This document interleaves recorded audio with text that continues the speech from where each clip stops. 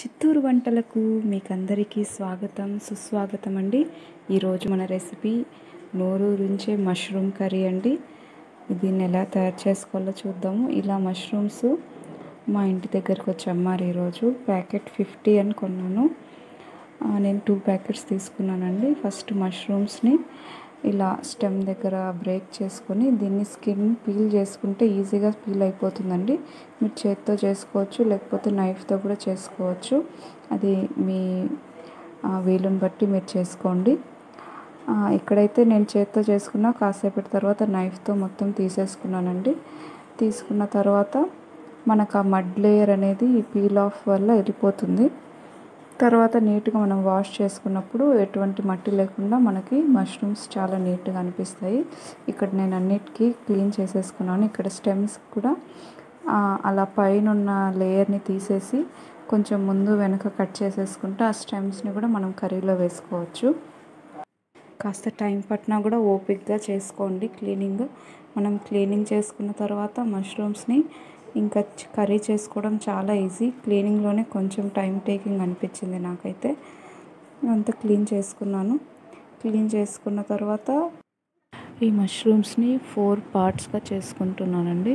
మరి చిన్నవిగా చేసుకుంటే ఈ ఉడికినప్పుడు ఇంకా చిన్న పీసెస్ అయిపోతాయి.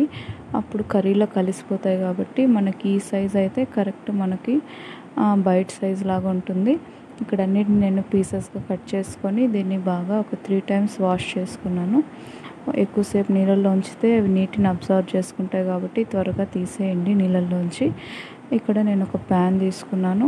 ప్యాన్లో ఒక టూ టేబుల్ స్పూన్స్ ఆయిల్ తీసుకున్నాను. ఆయిల్లో మనం ఇక్కడ కడిగి పెట్టుకున్న మష్రూమ్స్ని వేసుకుంటున్నాను. ఇక్కడ ఒక టూ టు త్రీ మినిట్స్ దీన్ని హై ఫ్లేమ్లో బాగా ఫ్రై చేసుకోవాలి. నేను ఎంత త్వరగా వాటర్లోంచి తీసినప్పటికీ నాకు ఈ ఫ్రై చేసేటప్పుడు ఈ మష్రూమ్స్ నుంచి వాటర్ అయితే యూజ్ అయింది ఈ వాటర్ని కూడా నేను అలాగే ఉంచేసాను. కర్రీలో కలుపుకోవచ్చని దాన్ని డిస్కార్డ్ చేయలేదు నేను. చూడండి ఇక్కడ మీకు ఎలా ఫ్రై అయ్యో చూపించడానికి ఈ ప్లేట్లో తీసుకుంటున్నాను. ఇలా ఇలా ఫ్రై అయితే సరిపోతుంది. ఇప్పుడు నేను ఏం చేస్తున్నానంటే ఇంకో ప్యాన్లో ఆయిల్ తీసుకుంటున్నాను. ఒక టూ టేబుల్ స్పూన్స్ ఆయిల్ తీసుకున్నాను.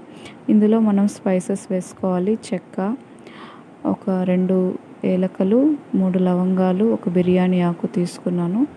ఇవన్నీ కాస్త ఫ్రై అయ్యాక మనము ఇందులో ఆల్రెడీ కట్ చేసి పెట్టుకున్న ఉల్లిపాయలు వేసుకోవాలి.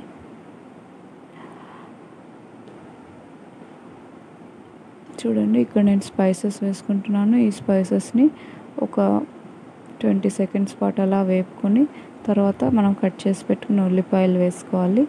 ఉల్లిపాయలను కూడా బాగా వేపుకోవాలి. మరీ మాడిపోయేలా కాకుండా కొంచెం గోల్డెన్ బ్రౌన్ అయ్యే వరకు వేపుకోవాలి. వేపుకున్న తర్వాత ఇందులో నేను ఒక వన్ టేబుల్ స్పూన్ అల్లం వెల్లుల్లిపాయ పేస్ట్ వేసుకున్నానండి.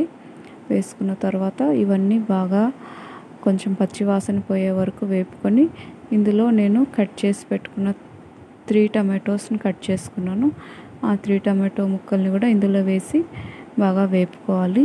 ఈ టమాటోస్ అన్నీ కాస్త మగ్గాలి. మగ్గే వరకు వేపుకోండి. మగ్గిన తర్వాత ఇందులో నేను one one and half tablespoon కారపొడి వేసుకున్నాను. ఒక పావు టీ స్పూన్ పసుపు వన్ టీ స్పూన్ ధనియాల పొడి రుచికి సరిపడా సాల్ట్ వేసుకున్నాను. మీ కారాన్ని బట్టి మీరు అడ్జస్ట్ చేసుకోండి. ఇవన్నీ వేసి ఇంకా బాగా కాసేపు టమాటోల్ని ఆ మసాలాలో బాగా మగ్గనివ్వాలి. ఈలోపు మనము కూరకి జీడిపప్పు పౌడర్ వేస్తామండి. దాన్ని నేను దంచుకుంటున్నాను. దీన్ని కోర్స్ పౌడర్ లాగా దంచుకున్నాను. దంచుకున్న తర్వాత ఇప్పుడు మనకి ఆల్రెడీ ఈ కూర మసాలా అనేది రెడీ అయిపోయింది. దీన్ని కాసేపు చల్లారబెట్టుకున్నాను చల్లారబెట్టుకున్న తర్వాత దీన్ని మనం మిక్సీ జార్లోకి తీసుకోవాలి. తీసుకొని దీన్ని ఫైన్ పేస్ట్ లాగా మిక్సీ వేసుకోవాలి. అప్పుడు మనకి మష్రూమ్ కర్రీకి గ్రేవీ చాలా బాగా వస్తుంది.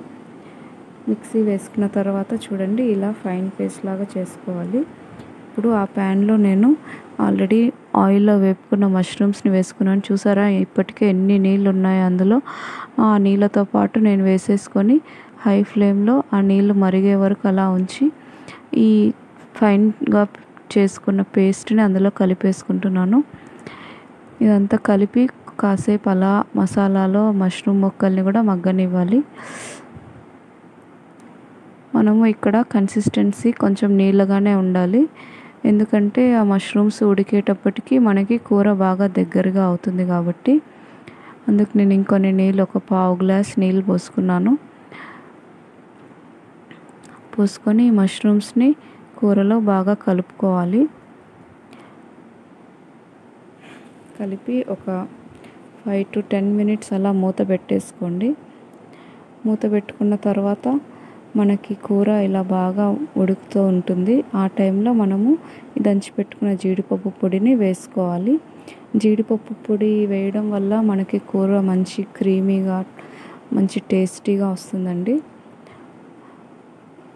ఇది కూడా కలుపుకున్న తర్వాత ఇంకాసేపు మూత పెట్టేసుకోండి.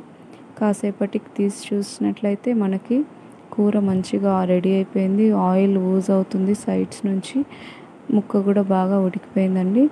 మన మష్రూమ్ కర్రీ రెడీ అయిపోయింది. దీన్ని చపాతీలోకి కానీ అన్నంలోకి కానీ దేనిలోకన్నా తినచ్చు. లాస్ట్ ఫైనల్ టచ్అప్ ఒక చిన్న స్పూన్ గరం మసాలా పొడి వేసుకున్నాను. అది వేసుకొని బాగా కలుపుకొని కొత్తిమీర కూడా పైన చల్లుకోవాలి. దీన్ని నేను ఒక సర్వింగ్ బౌల్లోకి తీసుకుంటున్నాను. మా ఇంట్లో వాళ్ళకైతే చాలా బాగా నచ్చిందండి. మీరు కూడా ఒకసారి ట్రై చేసి చూడండి. మీకు కూడా బాగా నచ్చుతుంది. Thank you for watching my video please like share and subscribe to Chittoor Vantalu bye take care